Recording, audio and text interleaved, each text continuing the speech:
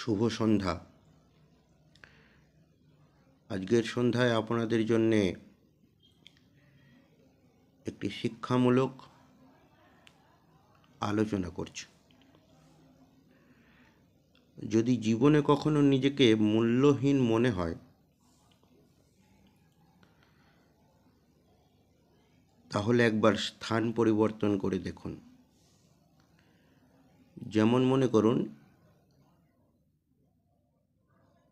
একটা জলের বোতল। সাধারণত তার মূল্য পনেরো টাকা। যদি ট্রেনে বিক্রি হয় সেটা কুড়ি টাকা।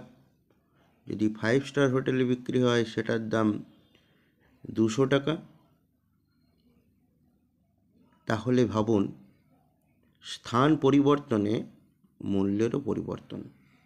তাই চিন্তা না করে এগিয়ে পড়ুন।